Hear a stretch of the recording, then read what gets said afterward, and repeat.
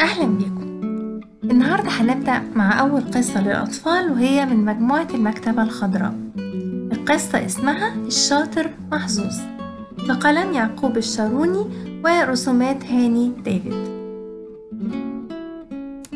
كان يا مكان يا سعد يا إكرام ولا يحلى الكلام إلا بذكر النبي عليه الصلاة والسلام. كان زمان في مدينة كبيرة جدا بتحكمها ملكة شريرة. وكان في المدينة دي في أميرة جميلة جدا. كل ما يتقدم واحد شاب عشان يخطبها كانت الملكة الشريرة تطلب منه طلب صعب جدا إن هو يحققه. مثلا كانت تطلب منه إن هو يدور لها على أحجار كريمة أو مجوهرات ضاعت منها من زمان أوي. أو تطلب منه يجيب لها طيور غريبة من أماكن بعيدة. أو إن هو يشيل صندوق تقيل جدا صعب إن حد يقدر يشيله لوحده. واللي كان ما يقدرش يحقق اللي هي بتطلبه منه كان بيتسجن في جزيرة بعيدة خالص ويفضل طول حياته مسجون على الجزيرة دي يرعى الأغنام والمعيز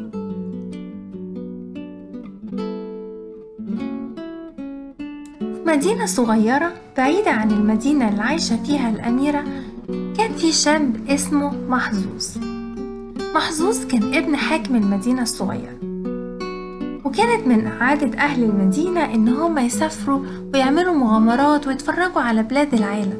ولما يرجعوا يقعدوا يحكوا عن المغامرات وعن الحاجات الغريبة اللي شافوها في البلاد التانية.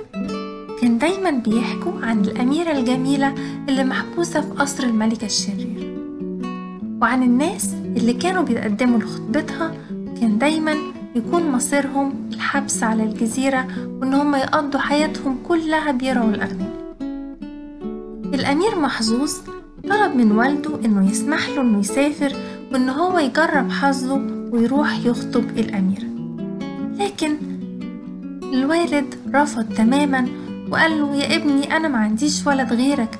إزاي تسافر لوحدك؟ أنا لا يمكن أبدا أوافق على كده. لكن محظوظ ما يأس. فضل يقنع والده إنه يسمح له بالسفر. وأخيرا الأب وافق. بس على شرط. لازم يعتمد على نفسه. وقال له يا ابني أنا مش هقدر أديلك حاجة غير حصان أبيض. تاخد الحصان ده وتعتمد على نفسك في بقية الرحلة. محظوظ فرح جدا وأخد الحصان الأبيض وخرج من المدينة. محظوظ خرج من المدينة ويدوب بعد شوية سمع صوت ست عمالة تعيط. قرب منها وقال لها مالك بتعيطي كده ليه؟ قالت له أصل أنت مش عارف حكايتي. أصلي أنا. مرة واحدة سكتت وبصت للحصان الأبيض وقالت له إيه ده؟ حصان أبيض مفهوش لون غير الأبيض. قال لها أيوه إيه المشكلة؟ قالت له أصل أنت مش عارف حكايتي. أنا كنت ماشية وكان معايا ابني. جه وحش غريب وقوي جدا خطف مني ابني ومشى. محظوظ قال لها طيب راح فين؟ وصفي لي المكان اللي راحوا فيه وأنا أروح أجيب لك ابني. قالت له لا ما تقدرش. لازم أنا أروح أجيبه بس أنا لازم أكون راكبة على حصان أبيض مفهوش أي لون غير الأبيض.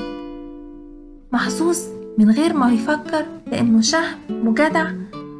نزل من على الحصان بتاعه واداه للست اللي بتعيط. وقال لها خدي أنت الحصان اركبيه وروحي هاتي ابنك. وأنا هكمل طريقي من غير الحصان وربنا يسهل. محظوظ ركب الست على الحصان والحصان انطلق بيها. لكن محظوظ لاحظ إن في نور حوالين الحصان وحوالين الست والنور ده بيزيد كل ما الحصان بيبعد. فجأة الحصان وقف والست بصت لمحظوظ وقالت له أنت شاب طيب أوعى ترجع للمدينة بتاعتك تاني. كمل طريقك وهتلاقي خمس حاجات عجيبة هتشوفها في الطريق. واختفت الست بعد كده ومحظوظ وقف مذهول مش عارف هل هو كان بيحلم ولا دي حقيقة؟ والست دي إنسانة زينا ولا ملاك لكن الحقيقة إنه اكتشف إن الحصان بتاعه خلاص مش موجود.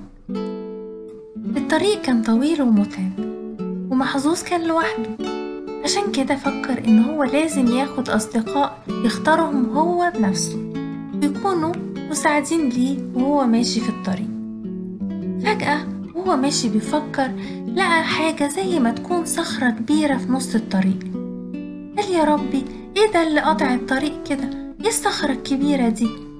قرب منها محظوظ وبيبص لقاها بتعلى وتوطى تعلى وتوطى كأنها بطن حد بيتنفس. محظوظ قرب واكتشف إن دي مش صخرة ده راجل كبير جدا ضخم قوي نايم في نص الطريق. أول ما محظوظ قرب من الراجل اللي نايم الراجل فتح عينيه. فمحظوظ سأله أنت بتعمل إيه هنا؟ قال له أصل أنا كنت نايم. عشان أنا يا إما بنام يا إما باكل. وأنا الصبح فطرت وخلاص نمت وقمت جعان. فمحظوظ قال له وفطرت إيه الصبح؟ قال له أنا فطرت يا دوب تلات بقرات ومية رغيف عيش. محظوظ استغرب أنت فطرت تلات بقرات ومية رغيف عيش ونمت وقمت جعان؟ قال له أيوه. بص أنا هوريلك حاجة. الراجل الكبير قام وبإيد واحدة شال شجرة طلعها من الأرض ومسكها كده بإيد واحدة رفعها في الهواء. وراح مرة واحدة مسك شجرة تانية بإيده التانية ورفعها من الأرض وبقى ماسك الشجرتين في إيديه. محظوظ استغرب خالص من قوة الراجل وقال له طيب أنت بتشتغل إيه؟ بتعمل إيه هنا؟ رايح فين؟ قال له ابدا أنا رايح أدور على أكل تاني. ومحظوظ قال له طب إيه رأيك تمشي معايا؟ الراجل قال له ما عنديش مانع أمشي معاك. كمل محظوظ مشواره مع صاحبه العملاق وبيبص في السما لقى وش الست اللي كانت بتعيط واللي كان اداها الحصان بتاعه. كانت بتبصله وهي بتبتسم كأنها بتقوله برافو عليك كمل هتوصل. كمل محظوظ مشواره ومرة واحدة قام هوا جامد جدا بقى يزقهم لدرجة إن هما كانوا بيدوروا على مكان يستخبوا فيه من الهوا ده. بيبص محظوظ وصاحبه لقوا راجل قاعد قدام طواحين هوا وبيسد فتحة مناخيره بصبعه. الراجل العجيب ده لما لقى محظوظ وصاحبه مش عارفين يقفوا من كتر الهوا نزل صبعه من على مناخيره وفي ساعتها الهوا وقف وكمان الطواحين بطلت تدور. فمحظوظ سأله إيه ده؟ أنت بتعمل إيه هنا؟ قال له أنا بشتغل طحان. لو الرياح وقفت أنا لازم بشغلها بالهوا اللي بيخرج من مناخيري. بسد فتحة من فتحات مناخيري بصبعي الهوا بيطلع كله من الناحية التانية وبيشغل الطواحين دي. فمحظوظ استغرب جدا واستغرب أكتر لما شاف ودنه. لقى إن ودنه الشمال كبيرة جدا. فمحظوظ قال له وإيه ودنك دي كمان؟ قال له لا الودن دي تسليتي بقى. قال له يعني إيه تسليتك؟ بتعمل إيه بودنك؟ قال له بص راح موطي على الأرض وحط ودنه على الأرض. فمحظوظ قال له أنت بتعمل إيه؟ بتعمل كده ليه؟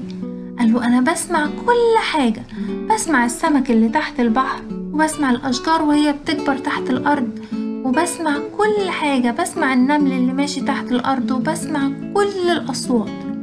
قال له بتقدر تسمع صوت الأميرة اللي عايشة في القصر البعيد مع الملكة الشريرة؟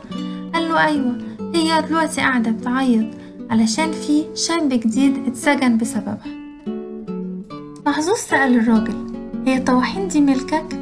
قال له أبدا مش ملكي ولا حاجة ده أنا بشتغل عند راجل بخيل وحتى مش بيدفع لي فلوس كويسة فمحظوظ قال له إيه رأيك تيجي معانا وتكمل معانا الرحلة فالراجل قال له آجي مجيش ليه يعني؟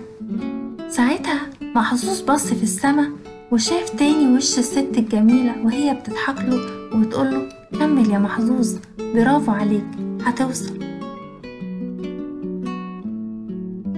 محظوظ كمل طريقه مع صحابه الجداد الراجل الضخم والراجل أبو مناخير وودن كبيرة. هما ماشيين شافوا راجل قاعد مغطي عينه بغطا من الخشب. فمحظوظ قال يا حرام يمكن الراجل ده يكون عنده مرض في عينه.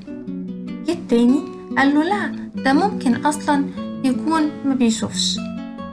فالراجل قال لهم استنوا استنوا ده أنا بشوف أحسن منكم كلكم وأحسن من الناس كلها. أنا بقدر أشوف السمك اللي تحت المية وبقدر أشوف اللي ورا الحيطة وأقدر أشوف أي حاجة مفيش أي حاجة ممكن تتدار عن عينيا أبدا. بشوف كل حاجة في تحت الأرض وورا الحيطان وتحت المية. وبشوف بالليل وبالنهار. فمحظوظ قاله طب ما انت ممكن تشتغل مع الجيش وت... وتكسب كويس جدا. قاله بس أنا كمان ممكن أشتغل مع ولد ذكي زيك. فمحظوظ قاله إيه رأيك تمشي معانا وتصاحبنا؟ قاله آجي معاكوا طبعا. فكملوا محظوظ ومعاه الراجل الضخم ومعاه الراجل أبو ودن كبيرة وكمان الراجل اللي بيشوف كويس. المرة التالتة محظوظ يبص في السما ويشوف نفس الوش الست اللي كانت بتعيط وهي بتبتسم له وكأنها بتقوله كمل يا محظوظ. صح كده.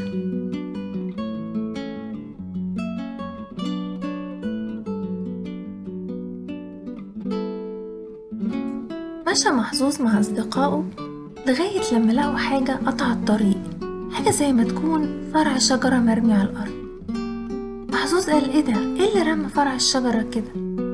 صاحبه اللي بيسمع كويس قال له لا على فكرة ده مش فرع شجرة ولا حاجة. دي دراعات راجل بس هو طويل قوي ودراعاته طويلة جدا. قال له إزاي ده؟ قال له أيوه أنا سامعه بيتنفس. محظوظ فضل ماشي مع الدراعات فضل ماشي ماشي ماشي لغاية لما وصل لراس الراجل. وصحوه من النوم. قال له إيه ده؟ أنت إزاي دراعاتك طويلة قوي كده؟ قال له أنا ممكن كمان أخليهم أطول من كده. وكمان رجليا طويلة جدا وأنا مش بقدر أمشي برجليا الاتنين مع بعض وإلا هبقى سريع جدا جدا وعمر ما حد هيقدر يلحقني. عشان كده لما باجي أمشي بمشي على رجل واحدة وعلق رجلي التانية على قفايا. ضحك محظوظ وقال له طيب أنت إيه بقى اللي منيمك في الطريق كده؟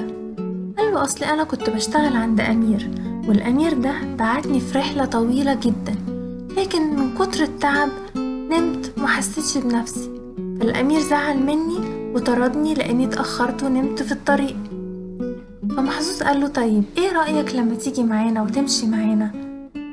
فالراجل قال له طيب ماشي آجي معاكم. ومشى محظوظ ومعاه صاحبه الجديد ومعاه التلاتة التانيين التخين واللي بيسمع كويس واللي بيشوف كويس ودلوقتي كمان معاهم صاحبهم الطويل خالص. والمرة دي كمان محظوظ بص في السما وشاف نفس الوش بيضحك كمل محظوظ وأصدقائه الطريق والدنيا بقت حر والشمس حامية. بيبصوا لقوا راجل لابس بالطو تقيل ومغطي بيه كل جسمه وقافل كل الزراير. محظوظ قال له إزاي أنت لابس كده؟ أنت مش حران. قال له أصل أنا جسمي بارد جدا. لو قلعت الجاكيت أو حتى فكيت الزراير بتاعة البالطو بتاعي الدنيا حواليا هتبقى برد والجليد هيغطي الأرض. عشان كده أنا لابس البالطو ده ومغطي جسمي كله علشان الدنيا ما تبقاش برد قوي والجليد ما يغطيش الأرض. فمحظوظ قال له طب إيه رأيك؟ تمشي معانا؟ الراجل قال له أمشي معاكم. فضل محظوظ ماشي في الطريق ومعاه اصحابه كلهم الراجل الضخم والراجل اللي بيسمع كويس والراجل اللي بيشوف كويس وكمان الراجل اللي دراعاته ورجليه طويلة والراجل اللي بيحول الدنيا حواليه لجليد وبرد فضلوا ماشيين ماشيين لغاية لما وصلوا للمدينة الكبيرة اللي بتحكمها الملكة الشريرة واللي محبوسة فيها الأميرة. عملوا إيه؟ وإزاي أنقذوا الأميرة؟ ده اللي هنعرفه المرة الجاية إن شاء الله. سلام.